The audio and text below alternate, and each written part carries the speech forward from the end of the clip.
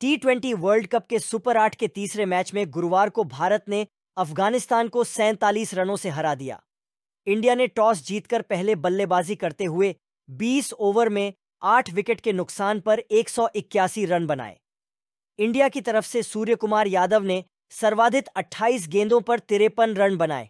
वहीं अफ़गानिस्तान के फजल हक फारूकी और राशिद खान ने तीन तीन विकेट लिए। एक सौ इक्यासी रनों का पीछा करने उतरी अफ़गानिस्तान की टीम एक सौ चौंतीस रन ही बना सकी। भारत की तरफ़ से अर्शदीप सिंह और जसप्रीत बुमराह ने तीन तीन विकेट लिए।